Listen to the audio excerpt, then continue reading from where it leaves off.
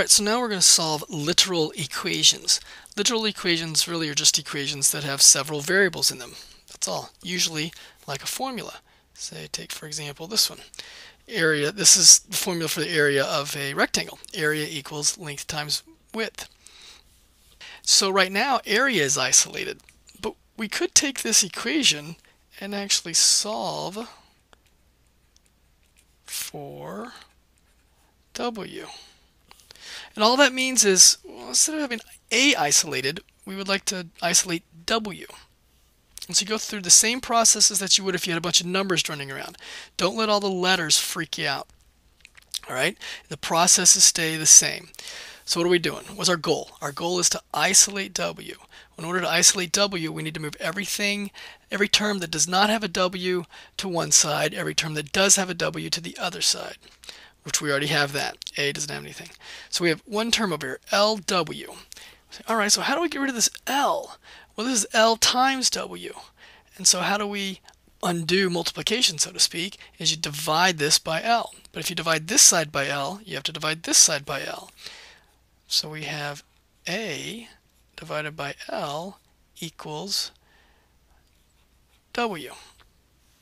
And you've isolated W using the uh, the uh, multiplication property of equations. Alright, so let's try this one. Alright, so let's take this equation and solve for L. Now this equation, if you know, is the perimeter of a rectangle.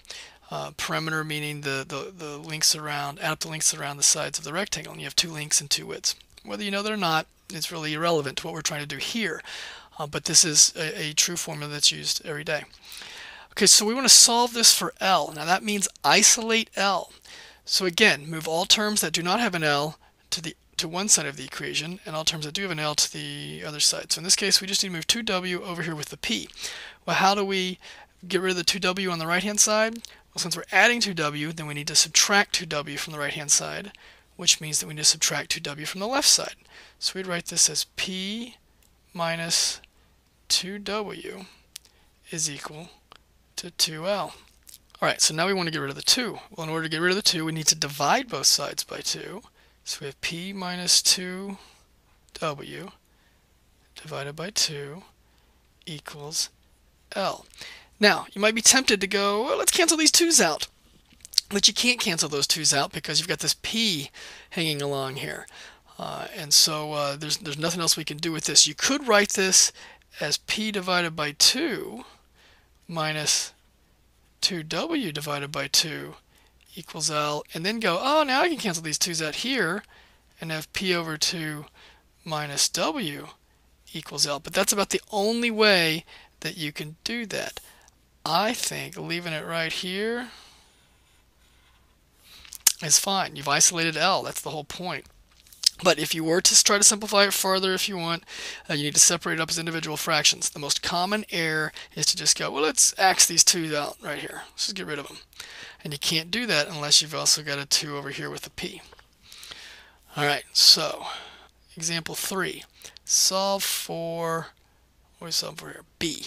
All right, so this is the, anybody know what this is? The area of a triangle. So if we want to take this area of a triangle, or just take this literal equation and isolate b. Well, we got this fraction. Don't let the fractions freak us out. Um, we know how to take care of the fractions. In order to eliminate the fractions, my personal opinion is I would multiply both sides of the equation by the least common denominator of your fractions. Well, in this case, 2 is least common denominator. So multiply both sides by 2, and we're going to have 2a and if you multiply this side by 2, you get 2 times 1 half, which goes away, and it leaves you BH. And then in order to isolate B, you just divide both sides by H. And there you go. Gonna get the hang of it? Alright, I got one more to show you, and this is for people who have probably had intermediate algebra or, or higher. All right, so here's our literal equation. Yes, it is a real-life formula. It's uh, the surface area of a cube, uh, of a rectangular solid to be to be exact. Uh, and rectangular solid has six sides, and uh, opposite sides are equal.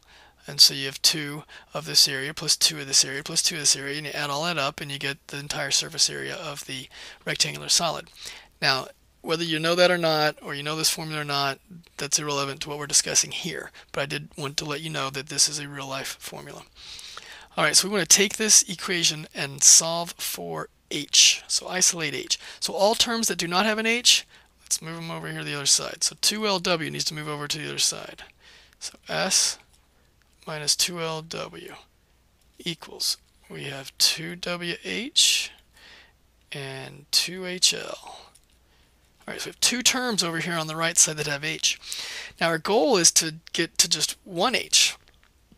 So the question is, how can we rewrite this right-hand side so that there's just one h? All right, well this is where the, uh, the skill comes in called factoring. If you are in intermediate algebra or above, then you're well aware of, of factoring already. So what we're going to do is look at these two terms and say, oh, look, we can factor an h out. And if we factor, yes, we yes, I agree, we could factor a 2h out, but it's the h that we really want. So we're just going to leave the 2 there. So factor the h out, and we have 2w plus 2l when you factor that h out using the reverse of the distributive property. The greatest common factor was, was h. Now you have h times 2w plus 2l. So in order to isolate h, what do we need to do to both sides? Divide both sides by 2w plus 2l.